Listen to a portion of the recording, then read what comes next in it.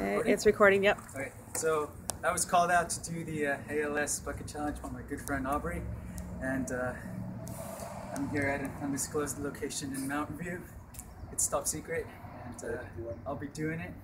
I challenge my good friend Blake Thiessen, Derek Miranda, and Andrea, Les- Andrea Nelson to take part in this challenge.